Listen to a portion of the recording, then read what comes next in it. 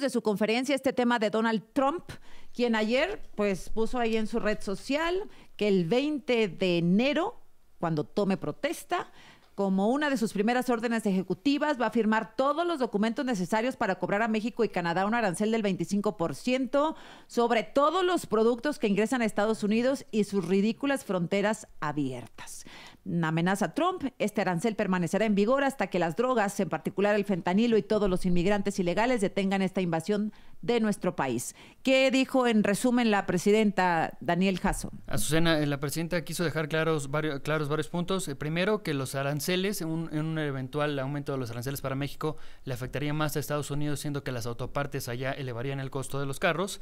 Dos, que los migrantes, la mitad de los migrantes que acuden a Estados Unidos a través de México van por cita vía CBP One, o sea que la mitad de ellos pues hace el proceso correctamente, que hay una estrategia justamente para que la caravana que viene del sur eh, pues no llegue de forma ilegal a Estados Unidos, que el tema del fentanilo lo están tratando y, bueno, recuerda la presidenta que hay un problema de salud pública en ese país de consumo de fentanilo y que se mantiene el tráfico de armas desde ese país al nuestro. También recuerda la presidenta que mañana va a asistir a la conferencia matutina un consejo de empresarios que han ido formando con apoyo del secretario de Economía Marcelo Ebrard para tratar este asunto, que el 5 de diciembre van a presentar lo que ella llama el Plan México, no adelantó muchos detalles, dice que ya lo va, lo va a ir platicando eh, durante estos días, e insiste Azucena en que se van a poner de acuerdo con Estados Unidos, descartando así esta guerra de aranceles. Vamos a escuchar.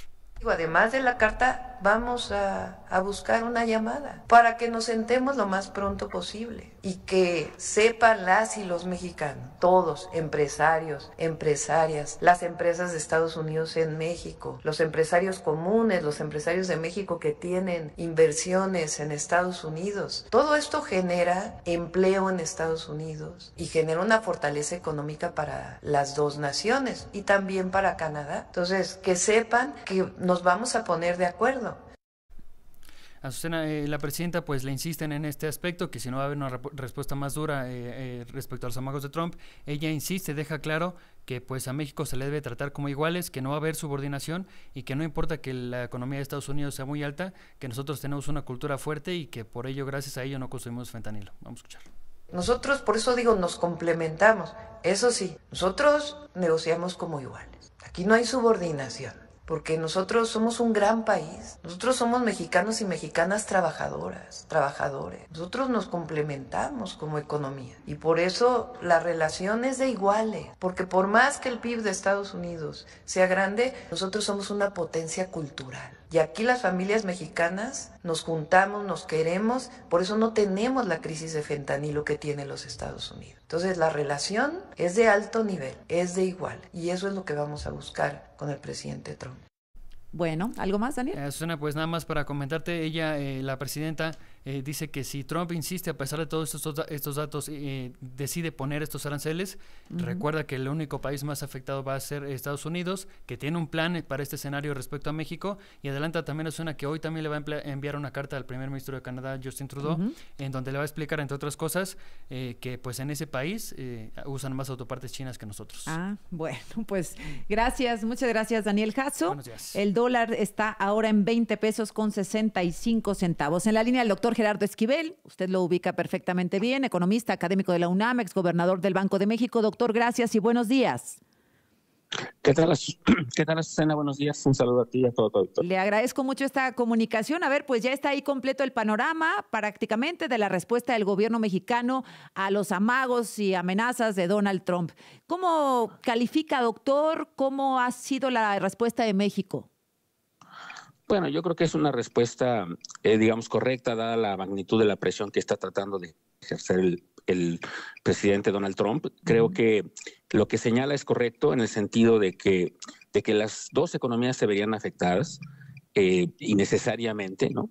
Innecesariamente porque pues tenemos un acuerdo de libre comercio que fue firmado precisamente durante la gestión del presidente Donald Trump, durante la primera gestión. Así es que eh, sería un poco absurdo que en contra de ese acuerdo que ya firmamos, que ya se negoció con el propio presidente, pues violándolo eh, flagrantemente, pusiera estos aranceles de manera unilateral contra dos países socios de este acuerdo y contra, y contra otro país, un tercer país que sería China.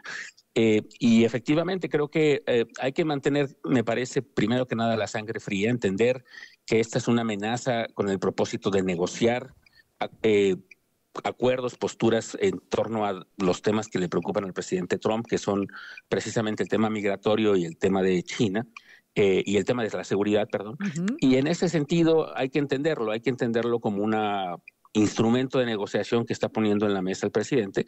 Creo que no hay que ceder a eso, hay que entender que sería contra su propio interés y su propio país el poner aranceles de esta naturaleza. Por lo mismo creo que es una amenaza poco creíble. Eh, hay muchos estudios que documentan que lo que ocurriría en Estados Unidos ante aranceles de esta naturaleza serían, primero, un aumento importante en el nivel de precios, que significaría que para los consumidores estadounidenses los productos que consumen les costarían más, porque recordemos, muchos de ellos son importados tanto de China como de Estados México y Canadá. Y en ese sentido es un primer efecto negativo. Y el segundo efecto negativo, como es eh, bien entendido en la literatura económica, imponer un arancel de esta naturaleza una vez que la economía ya estaba abierta, pues implicará distorsiones en la producción, en, las cadenas de valor, y eso generaría afectaciones económicas a los dos países. Creo que sería una cosa, eh, una, es una amenaza en ese sentido, me parece poco creíble eh, que ocurra en la realidad, porque sería el daño a las dos economías sería importante y no creo que el presidente Trump pues atente contra sus propios intereses de esa manera. Bueno, pues eh, doctor Gerardo Esquivel, preguntarle más que un, no sé, un instrumento de negociación, pues es un instrumento de extorsión, o sea, de extorsión básicamente porque él ha presumido muchas veces que el gobierno mexicano cedió ante la presión de los aranceles para desplegar eh, fuerzas federales en la frontera sur de México. Sí, así es. Es un instrumento donde lo que busca es que eh, eh, los otros países cedan, eh, empiecen a ceder en algunas dimensiones. Algunas de ellas puede ser, como ya lo, recuerdas, lo que pasó en la administración pasada, una presión que se tradujo en una respuesta de política pública que, que él vende a su electorado como como él lo dijo en su momento, que dobló al país, ¿no? Eh, es lo que él quiere, básicamente quiere tener un discurso de esa naturaleza para su propio electorado, eh, en donde básicamente lo que trata de obtener es, es, es algo, una, una, una, concesión de algún tipo de política, pero que en realidad pues responde, debe responder, y me parece en ese sentido bien lo que dijo la presidenta, eh, debemos buscar el entendimiento y la cooperación. Ah. Es evidente que hay una relación asimétrica entre los dos países, pero eso no implica que haya una relación de subordinación. Me parece que es en ese sentido un buen mensaje de parte de la presidenta. Pero la gran pregunta es hasta dónde ceder, doctor, porque Donald Trump no tiene límite.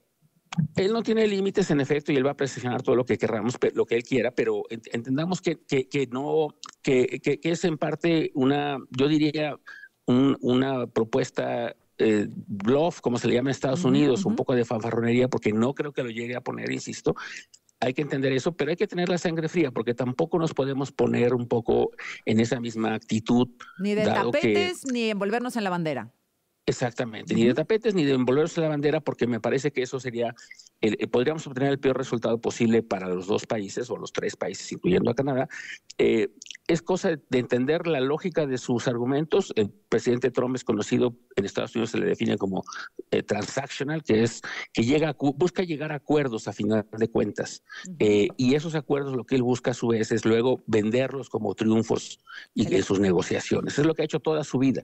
Y en ese sentido hay que entenderlo y en ese sentido hay que tener la sangre fría, hay que hacer el trabajo eh, necesario de cooperación y de diálogo previo a que entre a la presidencia. Me parece que eso es importante, que los equipos de trabajo empiecen a colaborar ya, pero entenderlo en esos términos. Y creo que creo que en ese sentido es una carta que no, no me parece mal eh, y que me parece que puede sentar las bases para iniciar el diálogo y ya luego el presidente Trump hará lo que quiera allá en su país y ya lo anunciará como su triunfo posiblemente. Pero nosotros tenemos que mantener pues también nuestra la dignidad como país y entender que, que no, no podemos subordinarnos a la primera ni en todo lo que nos pida, sino buscar pues acuerdos equilibrios y negociaciones. Pues como siempre, muy amable por su reflexión, muy inteligente como siempre, doctor Gerardo Esquivel, es usted muy amable. Gracias. Muchas gracias, hasta luego. Gracias.